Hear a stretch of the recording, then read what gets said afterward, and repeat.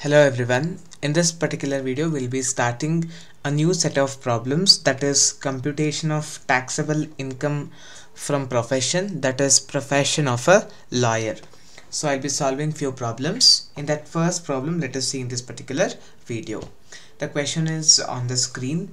Mr. A, an advocate residing in Delhi, submits his receipts and payments account for the previous year 22-23 so this is a receipt and payment account.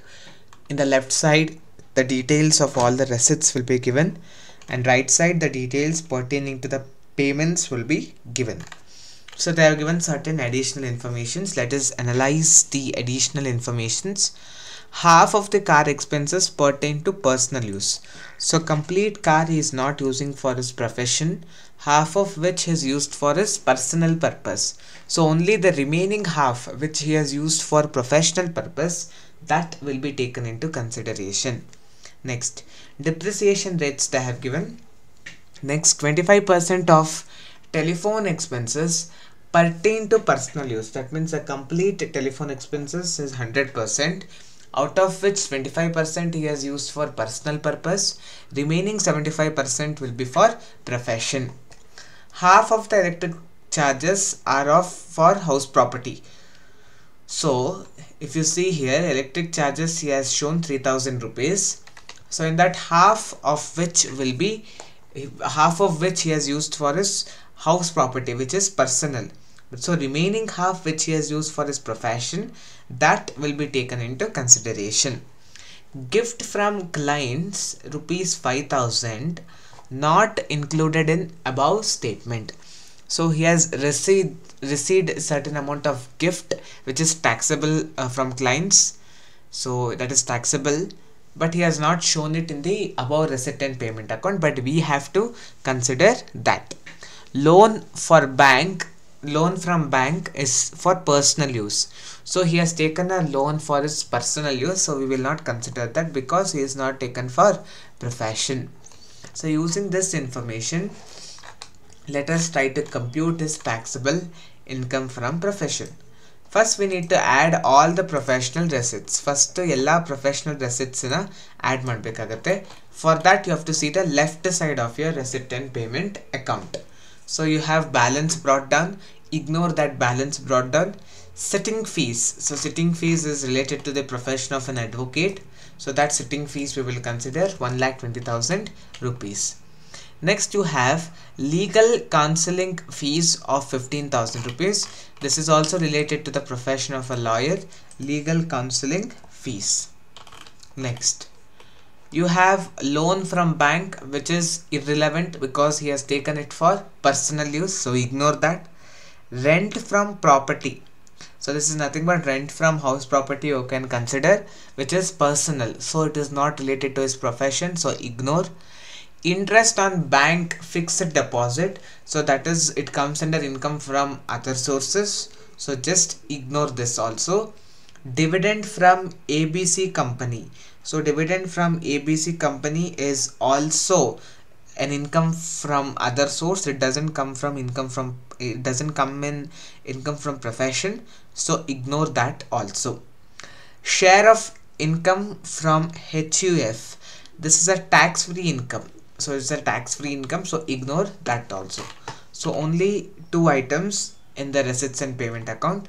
If you see the additional information here we have something called as gifts from client rupees 5000 not included in above statement so that he has received a gift of 5000 but he has not included but we have to write that also so no more details is given in regarding receipts in the additional information so only three information is there now if you add these things you will get the total professional receipts that is one lac forty thousand ಇದು ಮೂರನ್ನು add ಮಾಡಿದ್ರೆ total professional income ಅಥವಾ professional receipt one lac forty thousand rupees ಬರುತ್ತೆ from this you have to reduce the professional payments whatever the professional payments is there that has to be reduced for that you have to see the right side staff salary 28000 that is an expenditure professional expenditure so we will write that next you have professional books so purchase of professional books is a capital expenditure.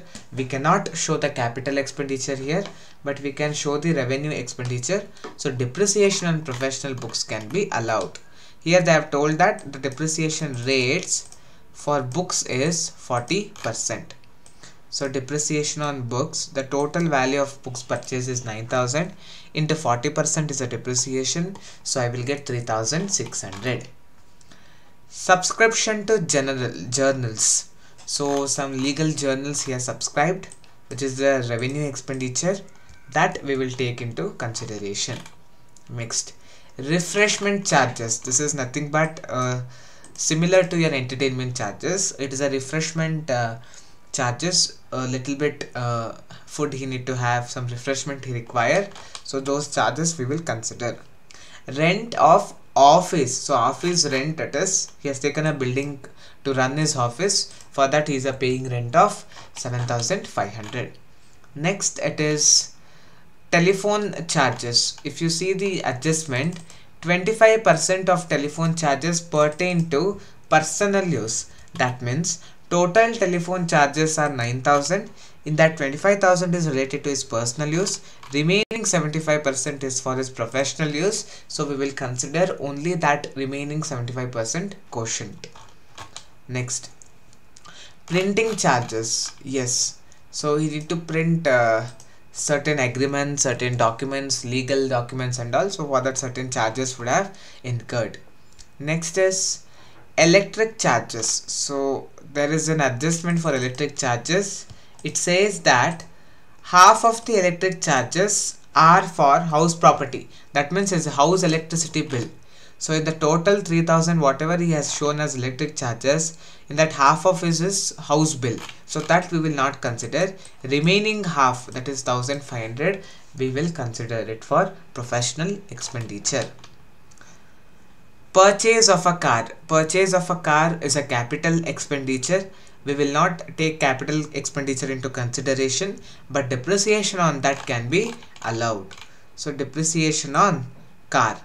So if you see the additional information half of the car expenses pertain to personal use. So total car he is not using for his profession half of which he is using for his profession.